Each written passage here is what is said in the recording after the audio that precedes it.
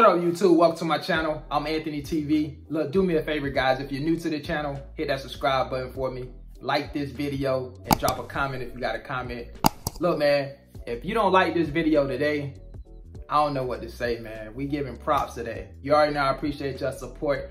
Hey guys, today, you see the title of this video man. I really got to shine the spotlight on an individual who was out here crushing it in the food service game. This individual works for McLane, so we gotta give a huge shout out to McLane for giving her an opportunity to do what she do, and she's doing it well. So look, man, recently I've had a few females that hit me up, dropped a comment, um, basically let me know that they're gonna be starting food service. And so when I seen this post by this young lady yesterday, I was like, man, you know what? I gotta make a video about this I have to acknowledge her and really just brag on how she's just crushing it out here, man. She's really killing it. And I think it's going to be some motivation and some inspiration for some of the other ladies and gentlemen, for that matter, um, that's interested in getting into the food service game, right? I say gentlemen because a lot of times, particularly the older guys, don't think that they can do food service.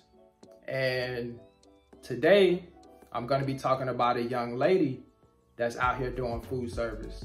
So, like I said in previous videos, ladies do food service, older people do food service. It's just a lot of diversity in the food service game.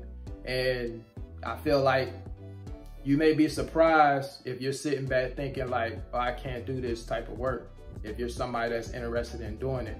Now, I'm not gonna say everybody can do it. Listen, make no mistake about it, it's still a physically demanding job, but you'll be surprised at the people who are having success doing this job and they're out here doing it at a high level. All right, so today we're gonna give props to Nikki, and I just wanna share something that she posted yesterday. Without further ado, man, let's go ahead and get into it. She says, really proud of myself for this. First time taking out over a thousand cases over 100 miles into a snail crawling traffic area without a helper in one day. Completed a route in 13 hours without a rescue. Yes, I've done overnights alone before with more cases, but overnights are usually only six stores a night. Then I usually have a 15 hour break to read to rest my arm at the hotel. Yes, I've done locals before alone, but those were under 30 miles and under 800 cases. This was my first time running solo with no helper in the big league, high case count, and high miles for the same day route. Ramp deliveries, and nothing is hurting on my body.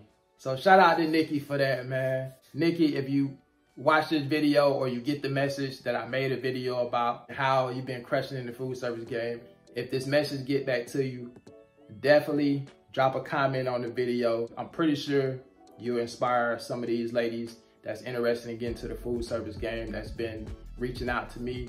Um, you know, I, I like to be able to show proof that this can be done by different genders and to see a female doing it at such a high level, I just think it speaks volumes and I really think that this video is gonna motivate some of the ladies that's getting ready to get into this food service game. Nikki, if you get this message, you can definitely drop a comment and there may be some ladies that want to ask you some questions or whatnot. You can drop your contact information if you would like to. Email, Instagram, social media, whatever you have um, for some of the ladies that may want to reach out to you. Also, if you're ever open to coming on my channel and doing an interview with me and just to talk about your experience as a female in food service, I would love to interview you and just ask you a few questions about your some of the challenges that you may face uh, in this game or some of the challenges that you come across, pros and cons, things of that nature, and just, you know, your overall perspective based on your own experience in the food service game. I would love to hear your story. So if you're open to doing that, you can reach me. All my contact information is in my about page on my channel. You can reach me through Instagram, shoot me a DM, or you can email me. All right. So look, again, got to shout out Nikki, man. Nikki, you're doing an amazing job. Keep it up.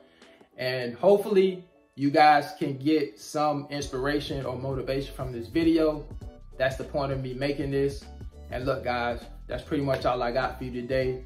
Remember, man, if you're new to the channel, hit that subscribe button for me. Like this video. If you don't like the video for me, you gotta like it for Nikki, all right? And drop a comment if you got a comment, man. Until next time, I catch you guys on the next one. Y'all take care. Peace.